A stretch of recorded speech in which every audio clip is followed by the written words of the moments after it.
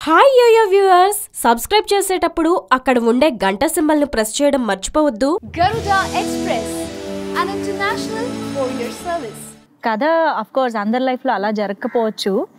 But ఎక్కడైనా ఒక connecting point ఎక్కువ దొరికిందా? అంటే లైక్ నాన్నతో అమ్మతో రిలేట్ చేసుకున్న కొన్ని యూనో బాండ్కి సంబంధించిన ఫీలింగ్స్ అలా. యూనో నాకు సినిమాలో నాకు మా నాకు మా అమ్మ నాన్న ఉన్న relationship is very similar actually out అవునా? Chilled out relaxed we share everything okay easy going relationship friendly father అన్న ఫీలింగ్ వచ్చినప్పుడు అనిపిస్తుంది నాగార్జున గారు ఎందుకు చేయకూడదు ఇలాంటి క్యారెక్టర్ ఆ థాట్ ఎవరికి రాలేదా? I, I still have time.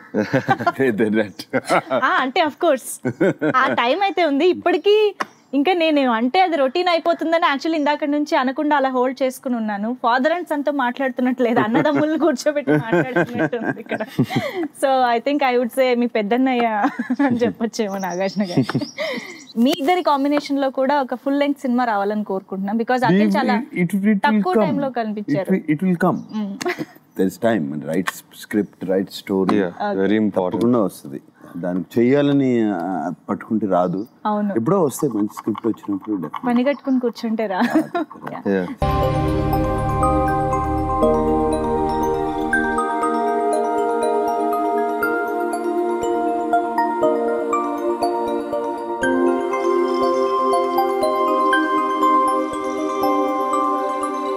ఈ వీడియో గనుక మీకు నచ్చినట్లయితే లైక్ చేయండి. షేర్ చేయండి. అండ్ సబ్స్క్రైబ్ చేయండి.